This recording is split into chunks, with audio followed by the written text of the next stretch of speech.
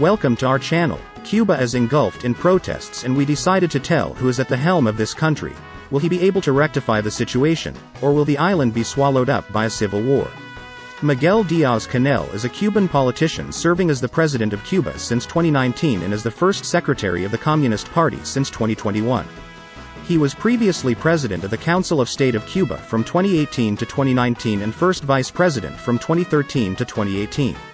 Miguel Diaz-Canel was selected to succeed Raul Castro as the candidate for president of the Council of State and the Council of Ministers on the 18th of April 2018 and was sworn into office the following day after the National Assembly voted for his nomination. His two predecessors in the role were brothers by blood. Notably, Diaz-Canel's succession, following Raul Castro, represents a non-dynastic form of succession for the Communist Party as well as for the Republic of Cuba. Diaz-Canel is the first president to not be a Castro family member since Osvaldo Dorticos in 1976 and the first leader of the government who is not a Castro since José Miro Cardona in 1959. He succeeded Raúl Castro, brother of Fidel Castro, as the first secretary of the Communist Party of Cuba on the 19th of April 2021 marking the end of the Castro era in Cuba. Miguel Mario Diaz-Canel Bermudez was born on the 20th of April 1960 in Placetas, Villa Clara, to Ida Bermudez, a schoolteacher, and Miguel Diaz-Canel, a mechanical plant worker in Santa Clara. He is of direct paternal Spanish, Asturian, descent. His great-grandfather Ramon Diaz-Canel left Castropol, Asturias, Spain, for Havana in the late 19th century. Miguel graduated from Central University of Las Villas in 1982 as an electronics engineer and thereupon joined the Cuban Revolutionary Armed Forces. Beginning in April 1985, he taught engineering at his alma mater. In 1987, Diaz-Canel completed an international mission in Nicaragua as first secretary of the Young Communist League of Villa Clara. In 1993, Diaz-Canel started work with the Communist Party of Cuba and a year later was elected first secretary of the Provincial Party Committee of Villa Clara Province, a top position higher than a governor. He gained a reputation for competence in this post, during which time he also championed LGBT rights at a time when many in the province frowned upon homosexuality. In 2003, he was elected to the same position in Holguin province. In the same year, he was co-opted as a member of the Politburo of the Communist Party of Cuba. Miguel Diaz-Canel was appointed Minister of Higher Education in May 2009, a position that he held until the 22nd of March 2012, when he became Vice President of the Council of Ministers, Deputy Prime Minister. In 2013 he additionally became First Vice President of the Council of State. As First Vice President of the Council of State, Diaz-Canel acted as Deputy to the President, Raúl Castro.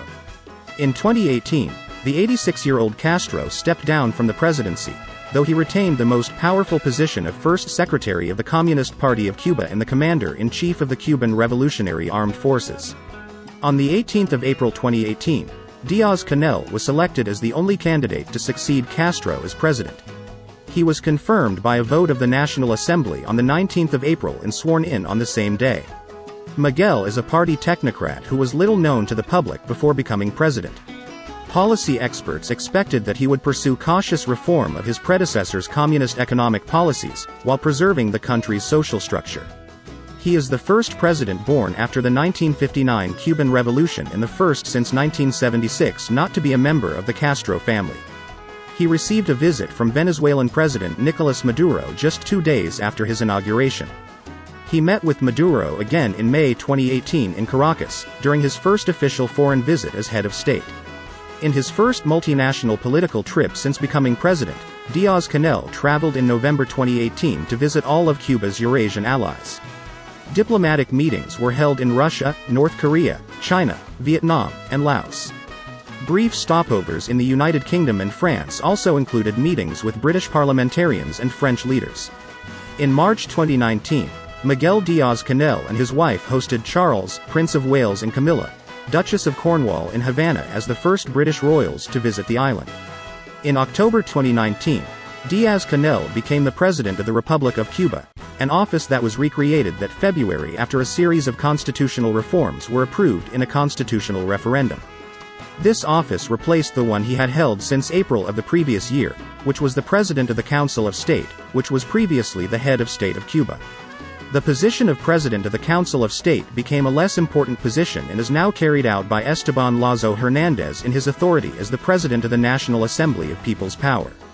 Miguel Diaz-Canel's reforms among other things, limited the presidency to two consecutive five-year terms and banned discrimination based on disability, gender, gender identity, race or sexual orientation.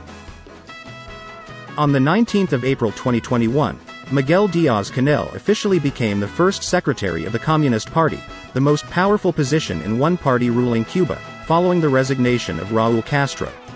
He is the first non-Castro to be in such position since the Cuban Revolution of 1959. BBC News stated that Diaz-Canel is loyal to the Castro's ideologies. In 2020, Cuba's economy shrank by 11% due to COVID-19 and increased restrictions, part of the continuing United States imposed embargo. Diaz-Canel has two children with his first wife, Martha. He currently resides with his second wife, Lis Cuesta. On the 23rd of March 2021, Diaz-Canel obtained a PhD in technical sciences, defending a thesis entitled Government Management System Based on Science and Innovation for Sustainable Development in Cuba. The last two years, the Cuban economy has been in crisis. The country's authorities blame the current situation on the U.S. sanctions and the coronavirus pandemic. Their critics are incompetent officials in the one-party system of governing the country on the Soviet model. Tourism was practically closed in the country. Other incomes from foreigners decreased, while Cuba depends on imports of the main part of food, fuel and resources for agriculture and manufacturing. In 2020, the country's economy fell by 10.9%, in June 2021 by 2%. Unsurprisingly, it is now that anti-state protests have erupted in Cuba for the first time in 30 years.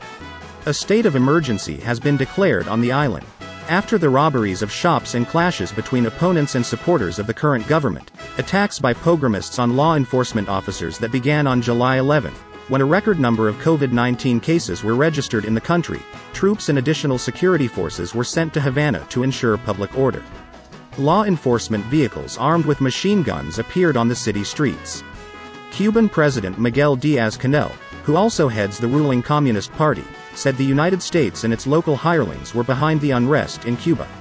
We call on all revolutionaries in the country, all communists, to take to the streets wherever there are attempts to carry out these provocations, said the Cuban leader, speaking on the radio.